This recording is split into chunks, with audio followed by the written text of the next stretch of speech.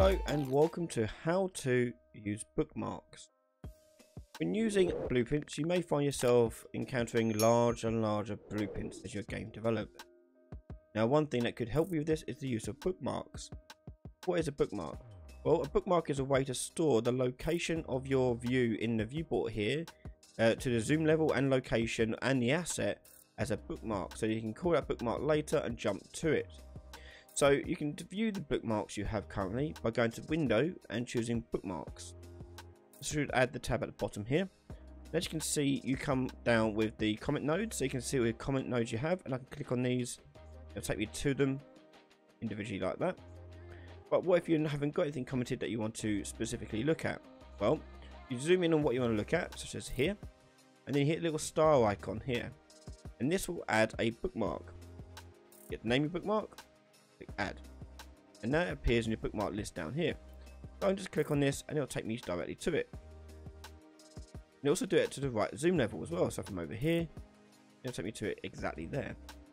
Now this will work anywhere inside your graph here. So if you're looking at construction script, it will go there. If you're looking at different graphs, you'll go there as well. Now that's just bookmarks. There is also the quick bookmarks as well. Now quick bookmarks do not show up in the bottom here. Um, I don't know why they don't. They just don't anymore. But what you do is you can say, let's say we've got this view here, and I hit Control One, and Control One will set me a quick jump, uh, quick uh, bookmark to this location. And if I'm in a different asset, for example, such as the projectile here, and I then hit Shift One,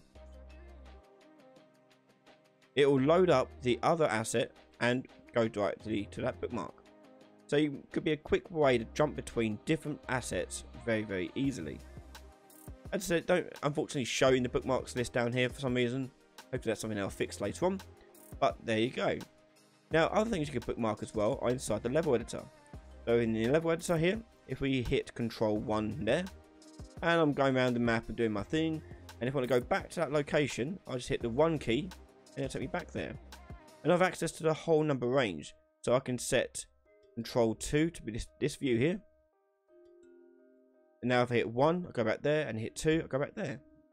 And you can do that across the whole entire map in any level. Hopefully you've enjoyed this use of bookmarks and you can find them quite useful. If you have any questions, leave a comment below. And if you want to see more of my videos, head over to patreon.com forward slash Ryan Laley, where a donation just $1 get access to all my videos before anyone else. Thanks for watching, and I'll see you all next time. Bye everyone.